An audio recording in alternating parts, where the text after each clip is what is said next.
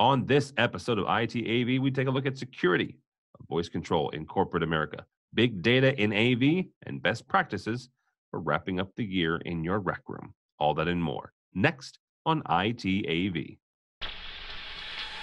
The network for the AV industry.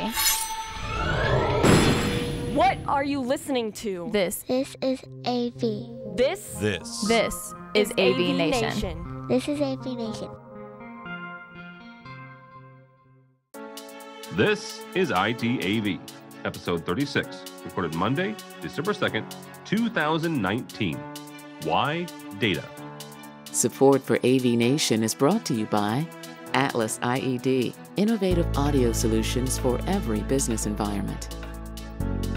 This is ITAV, the monthly look at the IT and AV industries and how they come together. My name is Tim Albright. I am your host. With us to discuss the news and information we have gathered for the IT and AV industries, Mr. Michael Drainer from Drainer Technologies. Welcome, sir. Thank you, Mr. Albright. How are you doing today? Glad to be here. It is a beautiful day in December. We're wrapping up the year, which we'll get to in, in a second. Uh, first, though, a couple of stories. One uh, comes from our own website, avnation.tv. Sonos has acquired the AI uh, voice platform Snips. Uh, quote unquote from the article, uh, Sonos has agreed or announced the acquisition of Snips SAS, an AI voice platform for connected devices that provides private by design voice technology. This leads me into a couple different conversations with you, actually, Michael. Um, one is as uh, voice becomes more and more prevalent in the commercial world, and we can argue back and forth. I think it's going to make more and more of a push. There are actually folks that are already developing on-prem uh, voice control systems, typically for the government, uh, is the road they're going down. Uh, but there are some um, financial institutions that are looking at that as well because they don't like the whole you're going to call back to a to server that's not ours. When we start, when the folks start deploying these systems, what are some of the things that they need to be aware of as far as their network and, and what that network is supposed it should be able to support? Well, like anything, I mean, one of one of the security is first and foremost, right? Because that's that's kind of the premise of the discussion here.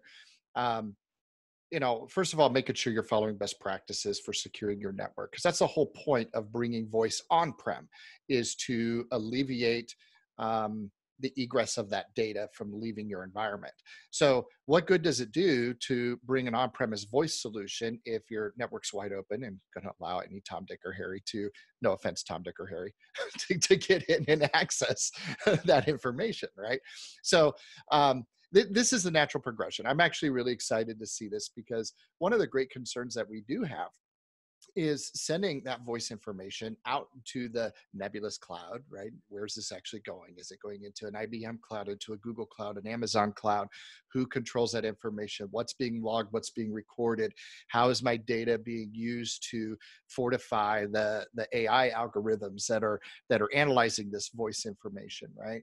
So by bringing this all on premise, uh, one, it allows you to control what is sent and what's not sent out to those services.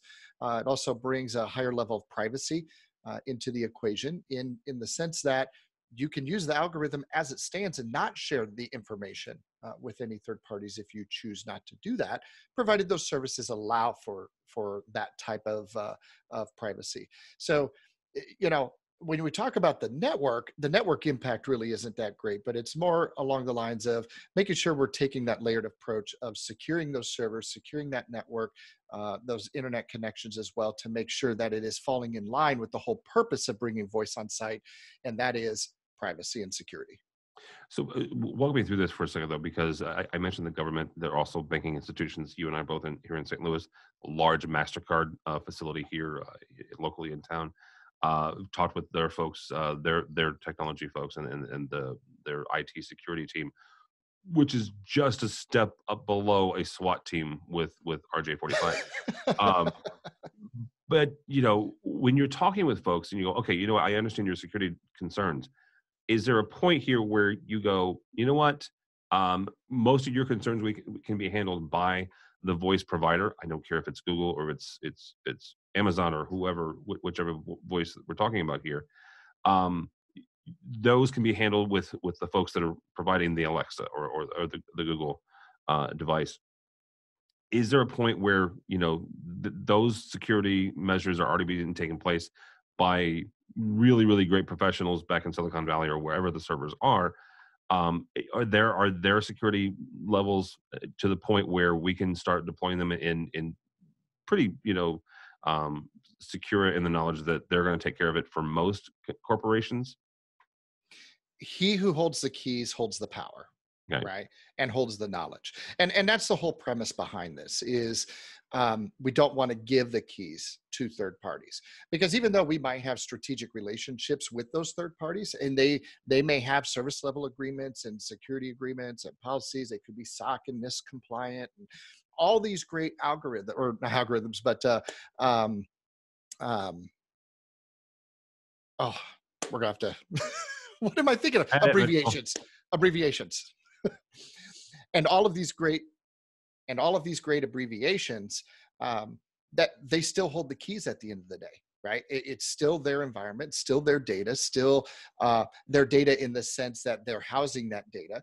And who has access to that information is only controlled by he who holds the keys right? So they can make all the guarantees that they want but we've seen what's happened with that in the past. So when we take control of it as as IT managers and as AV managers in our own ecosystem, we've got no one to blame but ourselves. Now, the inverse can be said as well that these service providers have teams of highly specialized engineers and specialists that are there to make sure that these ecosystems are secure and you know they've got the SOC operations center uh, to make sure that uh, they're securing the environment securing the servers and the applications that are running there and there's something to be said for that but again it comes down to application, level of privacy and concern uh, to the person who's ultimately using the application at the end of the day. Now, all of that said, um, let's talk about what those applications are. So, if you take a, a large financial provider, such as you've mentioned, is that a customer facing application or is it an internal application that's being utilized? Because there's very different requirements for that. So, if it's a customer facing application, it may make sense to keep a lot of that in the cloud because of the ability to distribute, uh, the ability to allocate resources dynamically and on demand. Uh, that's a little bit more difficult to do in a static data center. Uh, whereas if it's an internal application, uh, highly sensitive information, then bringing that all on premise can make a lot more sense. So it just it just depends, right? There is no one size fits all in this regard. Thank you so much for watching the first part of this month's ITAV. For more information or to see the entire episode, click on the link below or go by the website avnation.tv. avnation.tv.